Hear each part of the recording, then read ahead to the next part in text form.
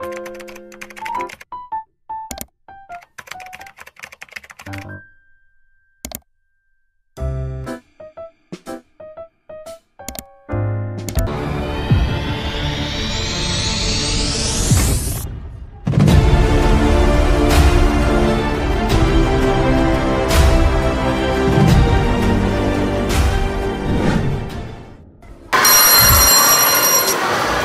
Hi Darren, what are you eating? Oh, I'm having Sarawak laksa for breakfast. Wow. What is so special about Laksa Sarawak? Laksa Sarawak is number one Sarawak traditional cuisine. Talking about traditional cuisine, I've created a game about traditional cuisine in Malaysia.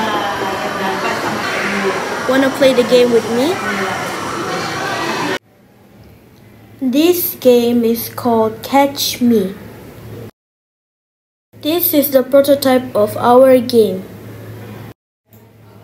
This game contains four stages. Each stages contains different Malaysia races. Every stages have their own LEDs. The LED will turn on according to the stages played. If you start the game, the first LED will turn on. The second LED will turn on if you reach stage 2. The third LED will turn on if you reach stage 3.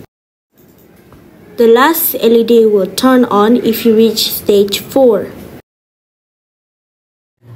To play the game, you need to move the sprite using the left and right button only. Catch the food that are only related to the stages. Each stages has its own traps. The traps will minus your points by 1. You need to get 15 points for each stages. If your score is negative 1, that means it's game over. If all the LEDs turn on or you get more than 60 points, you win.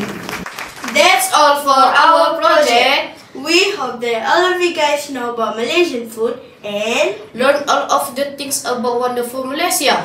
Bye!